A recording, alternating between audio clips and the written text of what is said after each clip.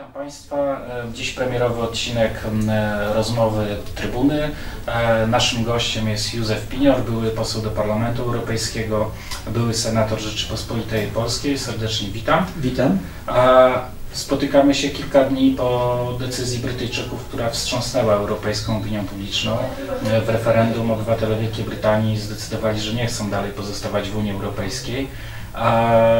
Ta decyzja będzie na pewno miała jakieś konsekwencje. Dzisiaj trudno przewidzieć jakie, ale chciałem zapytać się, e, czy efektem tego będzie rozpad Unii Europejskiej, a być może rozpad Zjednoczonego Królestwa. Przede wszystkim może dojść do rozpadu samej Wielkiej Brytanii. E, To Marx powiedział, że historia się nie powtarza, a jak się powtarza, to jako farsa.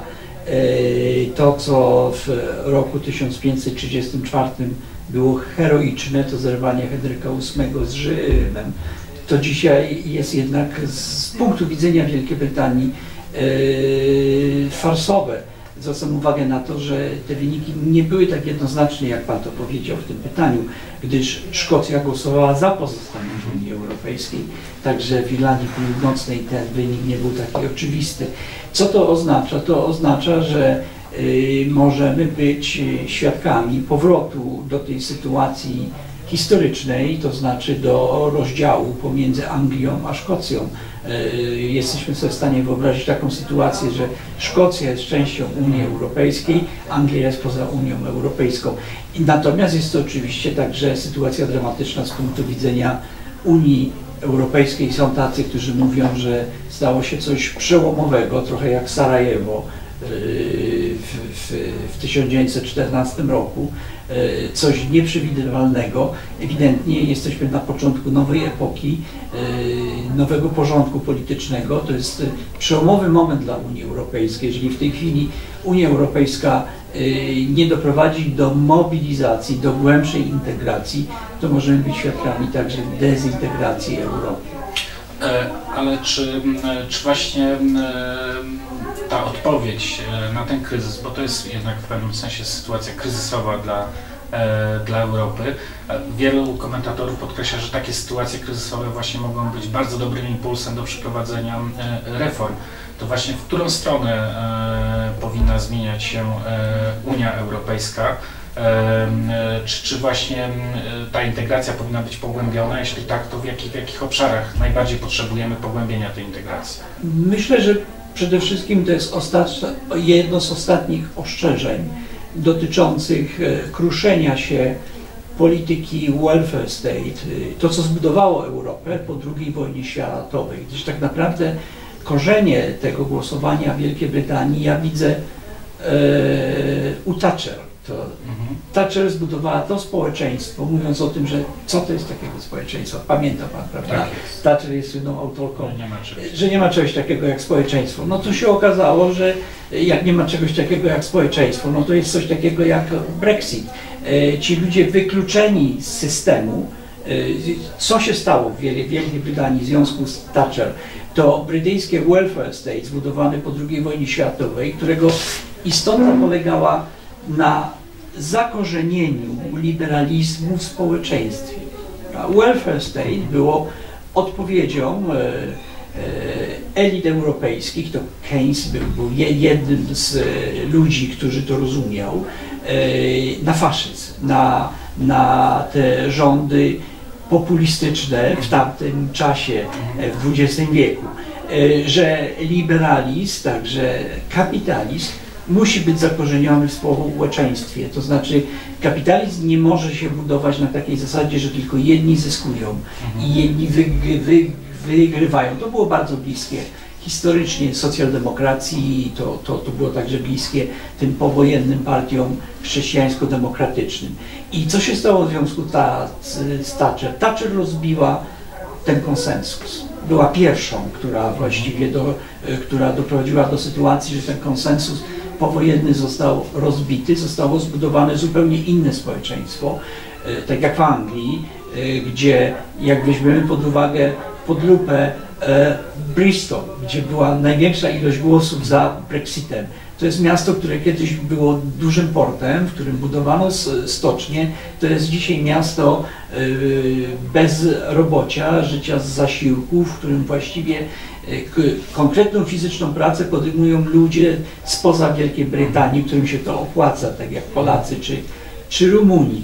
I ta nowa sytuacja doprowadziła do tego, że ten elektorat y, pozbawiony tego zakorzenienia w welfare state, on się odwrócił od liberalizmu. Te elity liberalne, lewicowe, prawicowe okazały się być dla niego y, niewiarygodne, one utraciły swoją legitymizację i głosował za, za tymi, którzy byli pod, pod ręką, tak? No, głosował za y, politykami, którzy cynicznie dla swoich celów walki o władzę nie wahali się użyć ksenofobii, nie wahali się użyć y, prognoz, które niewiele mają wspólnego z, z realną sytuacją ekonomiczno-społeczną Wielkiej Brytanii. Dla za, poszedł za polityki i poza politykami takimi jak Fafara czy Boris Johnson.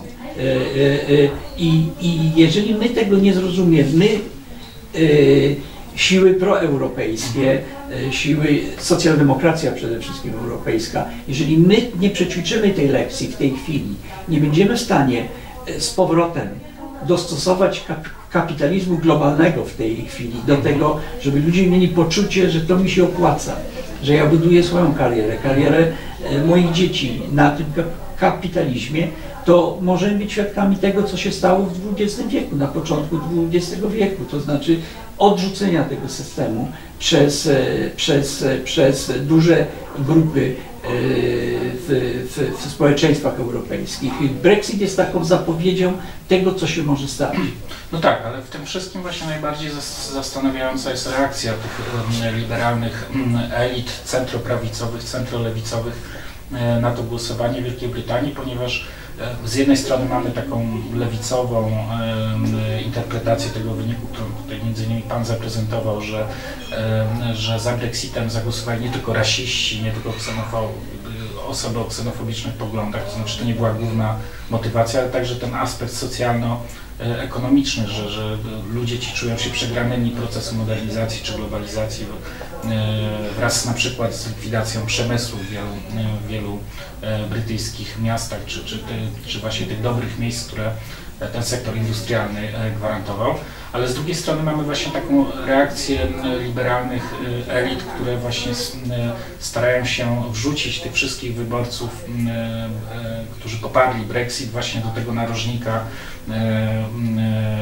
właśnie rasistów, ksenofobów, ta narracja wydaje się właśnie umacniać ten podział, który dla ludzi o poglądach proeuropejskich, lewicowych e, no jest bardzo niebezpieczny, czyli taki utrwalenie takiego podziału w, spo, w społeczeństwach europejskich na wygranych e, globalizacji kosmopolitów i przegranych globalizacji, którzy chcą zamkniętych e, społeczeństw i, i, i, i państw opiekuńczych, ale właśnie w ramach granic narodowych.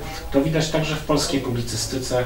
Jedna z liberalnych e, publicystek, filozof, wykładowca na jednym zresztą z brytyjskich uniwersytetów na Newsweeka, powiedziała, że to po prostu prymitywni Brytyjczycy, którzy piją piwo i żyją z zasiłków, głosowali przeciwko, przeciwko tej Europie. Czy to nie jest samobójcza, samobójcza strategia takich liberalnych elit, że e, nie starają się zrozumieć przyczyn tego, co, co się stało. Bez wątpienia mamy do czynienia z ogromnym kryzysem elit liberalnych europejskich, także samej socjaldemokracji mhm. europejskiej.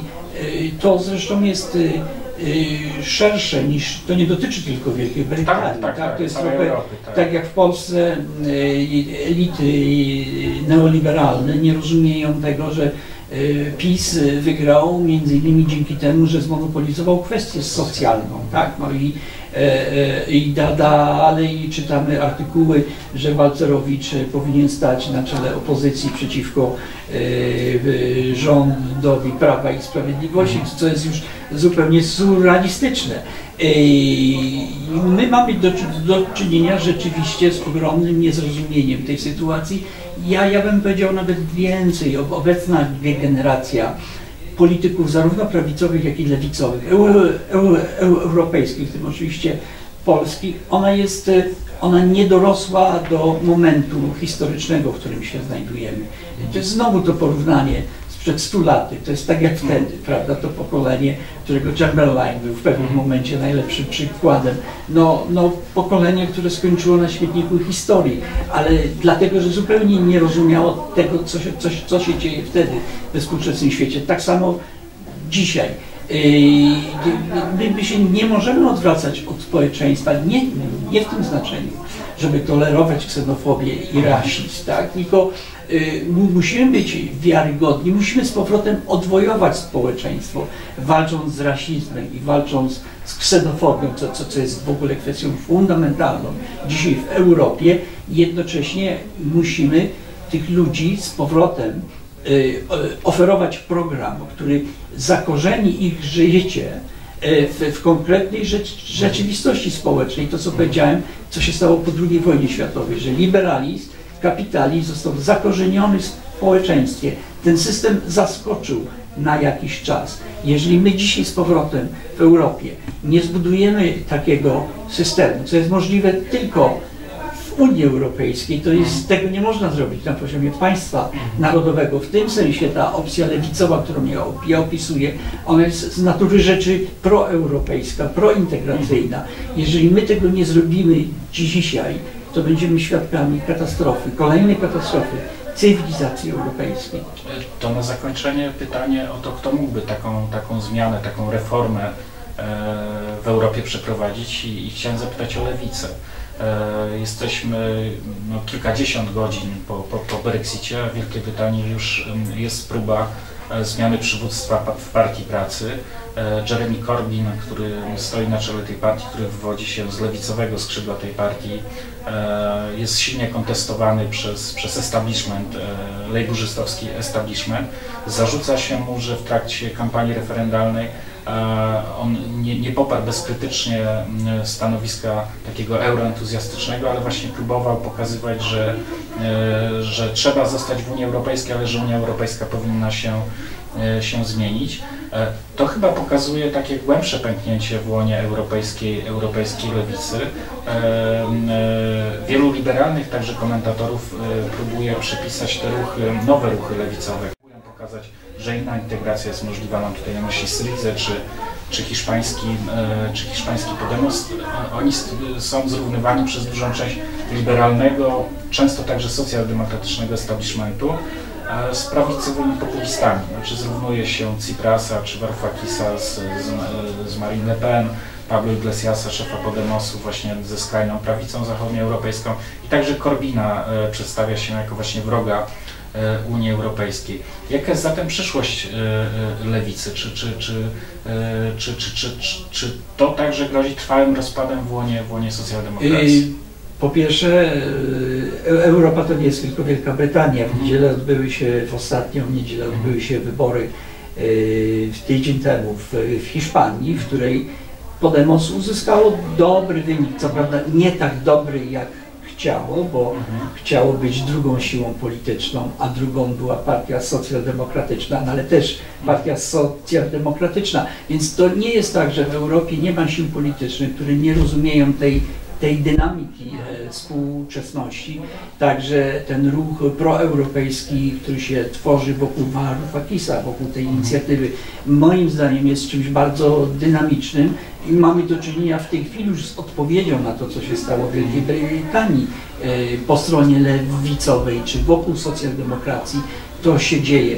Sam Jeremy Corbyn, ja, ja go osobiście poznałem 30 lat temu, on nam bardzo dużo pomagał w momencie, kiedy organizowaliśmy w Polsce jeszcze podziemną wtedy Polską Partię Socjalistyczną, Rewolucja Demokratyczna, y, to, to, to jest towarzysz, którego ja bardzo wysoko cenię, bardzo, bardzo go lubię. Natomiast wy, wydaje się, że, że on nie do końca zrozumiał tą, tej dynamiki politycznej, którą niesie sobą referendum. To znaczy rzeczywiście ta elita proeuropejska Wielkiej Brytanii i prawicowa i lewicowa, ona to zawaliła.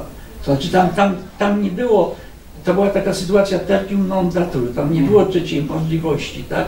To referendum trzeba było wygrać, przegrane referendum, wszyscy się cofnęli, lewica także się cofnęła w tej sytuacji, z którą mamy w tej chwili do czynienia, stąd moim zdaniem ta sytuacja w, w Labour, w, w Partii Pracy, która jest w tej chwili bardzo skomplikowana, ona się rozstrzygnie prawdopodobnie na zjeździe y, we wrześniu, tam rzeczywiście chyba dojdzie do powtórzonych wyborów na, na przewodniczącego Labour Party. No, z- żeby zakończyć ten, ten temat brytyjski, jednak pamiętajmy o, o tym, że właściwie Labour została wypłukana w Szkocji, w której ona się narodziła. Tak naprawdę Labour powstała w Szkocji i ona w tej chwili została wypłukana w Szkocji przez Partię Narodową, która, która, y, która była w stanie y, te y, klasyczne postulaty społeczne Partii Pracy przejąć dla swoich barw.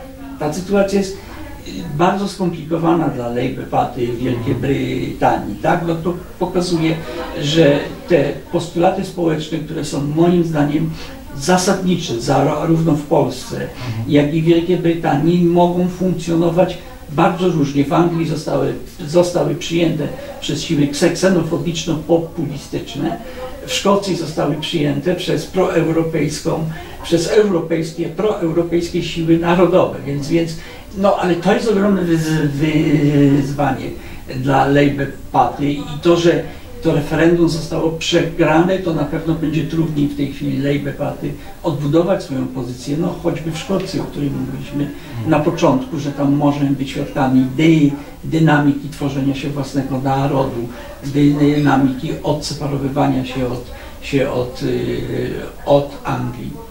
No na pewno Brexit e, stworzył nową sytuację polityczną nie tylko w Wielkiej Brytanii, ale także w Europie, także na brytyjskiej i europejskiej lewicy i wydaje się, że będziemy tym procesom bacznie się przypatrywać. Mam nadzieję, że będziemy mogli kontynuować tą naszą rozmowę. Bardzo dziękuję. Józef Pinior był Państwa i moim gościem. Serdecznie dziękuję.